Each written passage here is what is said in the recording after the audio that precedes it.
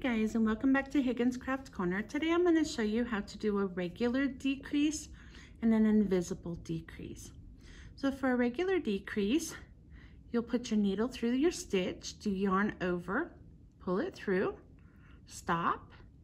Now you're going to do the same for a second stitch. So the very next stitch, you're going to go in, do yarn over and pull it through.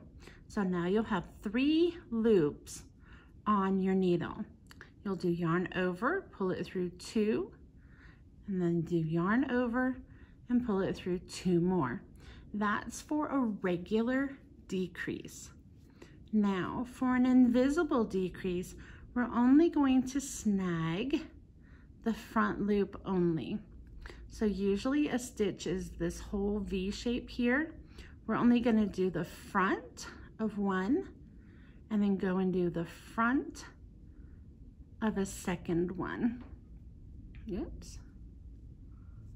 And then you're gonna do yarn over, pull it through those two stitches that you only grab the front of, then yarn over and pull it through those two.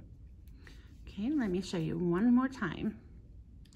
So you're going to grab the front of this stitch, the front of a second stitch.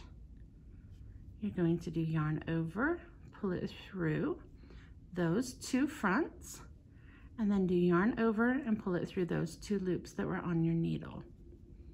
Okay, let me know if you have any questions down in the comments and don't forget to like and subscribe and join me next time. Thanks, bye.